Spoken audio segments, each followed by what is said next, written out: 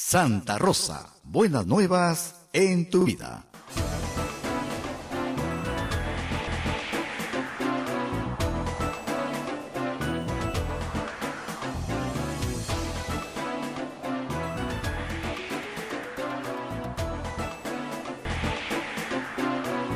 Bueno, estamos aquí en Radio Santa Rosa eh, conversando con ustedes. Hoy hay una marcha grande, importante, aquí en el centro de Lima, muy cerca donde estamos. Plaza San Martín es el punto de concentración y luego hay una caminata que termina en la Plaza 2 de Mayo. Eh, el, el, digamos, la ruta se ha publicado ya en varios periódicos, va a ir por Nicolás de Piérola, este, y finalmente sube por Uruguay, me parece, hasta la Plaza 2 de Mayo. Este, es eh, importante que todos los que vengan, vengan obviamente con sus pancartas, sus banderolas, su alegría, lo que quieran traer, pero este, que traigan pues este, la paz, ¿no? Nada de violencia, ¿no? No, no, no, hubo la otra vez y no debe haber ahora. Y cuidado con los infiltrados. Eso es lo que me preocupa, ¿no? Hay jóvenes muy apasionados, yo lo veo en las redes sociales, eh, chicos de 18 o 20 años que tienen una gran pasión sobre las cosas, y está muy bien, porque ahí sí hay que hacer pero a veces cuando uno tiene mucha pasión no se da cuenta que lo están haciendo caer, ¿no es cierto? Entonces no caer en provocaciones, no caer en, en personas que dicen cosas contra eh, Verónica Mendoza o contra TPK o contra Julio Guzmán, porque van a estar ahí votantes de ellos. Entonces, no caer en ese tipo de provocaciones, no decir nada, dejarlos que griten nomás y uno seguir adelante su camino ¿no es cierto? Porque eso termina en trifulca, ¿no? Y eso sí, chicas, le digo a mis alumnos siempre, hay dos cosas que ustedes tienen que saber, ¿no es cierto? ¿Qué tenemos que saber para ir a una marcha? Bueno, lleven su DNI, ¿no? Porque siempre puede haber un problema y ustedes van detenidas por indocumentadas. Y además hay algunas que son menores de edad. Dos, este, griten, la palabra clave. La palabra clave. Entonces me decían, soy prensa. no, no. pues estará, esa no. Habeas corpus. Entonces creen que es un conjuro, conjuro de Harry Potter, ¿no? Algo que tú gritas digo, ¡shum! Se va, ¿no? Entonces yo les decía, es como un conjuro de Harry Potter. O sea, no, quiere decir que no te pueden detener ilegalmente. O sea, Nadie puede ser detenido si no es en flagrancia o por mandato escrito y motivado del juez. Acá no hay mandato escrito y motivado del juez y no hay flagrancia si no, si no has hecho nada malo. ¿Ok? Entonces, digamos que vas a salir muy rápido de la comisaría. Tú, ah, señor, me quiere llevar detenido, encantado. Vamos a la comisaría y acá me quedo hasta que llegue alguien a rescatarme, que van a llegar a rescatarlo, no se preocupe. Entonces, este, eso en el sentido de que la cosa haya infiltrados y bueno, y que la que la cosa se desboque, que no, esperemos que no suceda. No, esperemos de verdad que no haya violencia, que es lo que realmente Yo he escrito, miren, esta probablemente, si ahora que con Fujimori, sea la última marcha democrática grande que haya en Lima en muchos años. Y van a haber muchas marchas en el interior del país también. Porque la vez pasada fueron 14 ciudades en simultáneo, más las de afuera. Entonces, este, no es una marcha a favor de PPK, entiéndanlo bien. Como yo no he ido a hacerle un favor a PPK, yo he ido a tratar de que una alternativa que me parece no democrática, que me parece cada día más, cada día tengo más elementos de juicio para estar segura de esto, no va a respetar la democracia, no llegue al poder. Porque fíjense, basta que una persona que no sea democrática le haga un gol a la democracia, ¿no? La democracia le puede hacer 20 goles a la, a la, ¿no? a la dictadura, no pasa nada. Pero un gol de la dictadura y la democracia y ya pues se quedaron. ¿Se dan cuenta? Tenemos un oyente del RIMAC. Aló, muy buenos días. Buenos días, señora Rosa María. ¿Cómo está usted? Cuénteme. Mucho, de verdad. este, bien interesante su, su orientación al ciudadano. La felicito por su programa tan bonito. Soy una madre de familia y estoy llamando del distrito de Río. Como el tema del momento que usted está tratando es sobre las elecciones presidenciales, yo como madre de familia quiero dar un punto de vista. En primer, en primer lugar, quiero invocar a todas las personas que van a participar, participar en la marcha de hoy día, que es una marcha justa y que lleva el sentir nacional de la población peruana.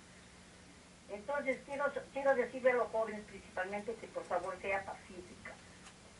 En segundo lugar, como madre de familia, después de haber analizado la situación en mi familia, creo que también ha pasado eso en la mayoría de las familias, hemos sacado la conclusión que por la seguridad de la democracia en nuestro país, por todos los momentos graves que la situación está dando en nuestro país, especialmente con el narcotráfico y la delincuencia, nosotros por todo eso, en las familias, en la mayoría de las familias hemos decidido apoyar a la candidatura del señor Pedro Pablo Kuczynski. Porque la señora Keiko Fujimori, a nosotras las madres de familia, no nos da la confianza de que va a ser una buena gobernadora. No, no puede ser, porque en momentos difíciles que pasaba en su familia, supo darle la espalda a su madre.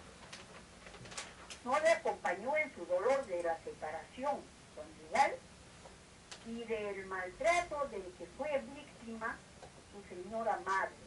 Desde ese punto de vista, como madre peruana, yo rechazo ese, esa conducta y dudo que en este tiempo la señora haya cambiado de comportamiento. Para muestra, basta un botón. Bueno, muchas gracias señora. Eh, yo respeto todas las posiciones. Habrá mucha gente que nos escuche en este momento, también como usted, madre familia, una persona pobre, ¿no? que ha hecho otra evaluación. Eso hay que respetarlo sin agredirnos, sin insultarnos. Yo les digo cuál es mi punto de vista, porque ya se ha hecho público, lo he escrito varias veces.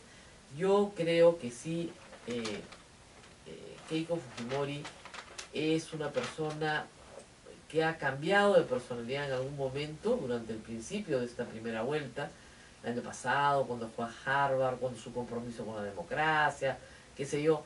Pero una vez que la vimos en el primer debate en Piura, vimos otra persona completamente agresiva, eh, mintiendo muchísimo y para la cual, salvo ganar estas elecciones, eh, digamos, todo vale, ¿no? Incluso los problemas de su vicepresidente, fraguando un audio o traficando con él para incriminar a una persona inocente y decirle que no se ratificaba en un testimonio en el que sí se ratificaba. Eh, el señor Joaquín Ramírez, secretario general del partido, investigado por la DEA, por más que lo niegue, está investigado por la DEA. 11 congresistas tienen problemas con la justicia, están investigados, de los cuales 7 tienen investigaciones por lavado de activos vinculados al narcotráfico. Entonces, seguramente su selección ha sido muy buena y muy puntual en provincias, ha pasado por muchos filtros, ¿no? Pero claro, lo que ha conseguido es gente que puede levantar plata, que tiene liquidez, porque son gente asociada a grifos, a construcción civil, tienen liquidez para pagar una campaña.